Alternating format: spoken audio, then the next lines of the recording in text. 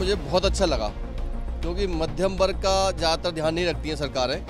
तो मध्यम वर्ग को पाँच लाख रुपए जो किया गया है, वो बहुत ही बढ़िया कदम उठाया है उन्होंने। केंद्र सरकार ने देश की जनता का सर्वांगीण विकास के लिए बजट पेश किया है।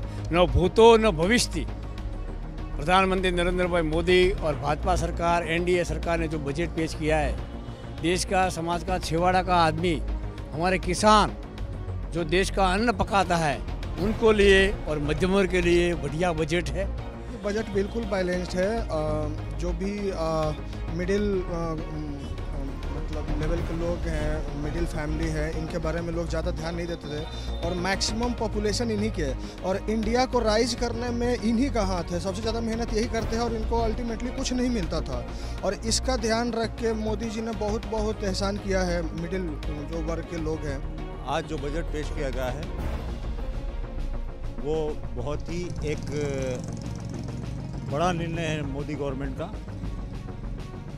किसानों के ताल्लुक से जो उन्होंने निर्णय लिया है, उसके लिए सारे देश के किसान उनके आभारी रहेंगे। आज देखिए, बहुत अच्छे तरीके से फाइनेंस मिनिस्टर साहब ने एक किसानों के लिए दो एकड़ से कम ज़मीन जिनके पास है, उनको मिनिमम छः हज़ार रुपये सालाना उनके खाते में दिए जाएँगे।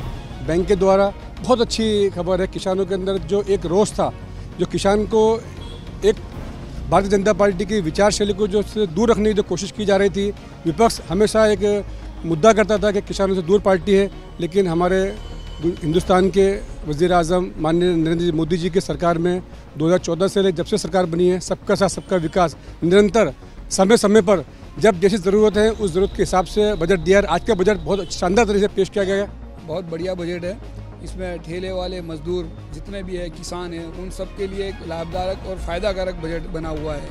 सारे मध्यम वर्गीय सारे गरीब और जो भी है जितने भी वो, वो मोदी जी साथ आने के लिए तैयार है 2019 में उनका जोरदार समर्थन से फिर दोबारा प्रधानमंत्री बनेंगे।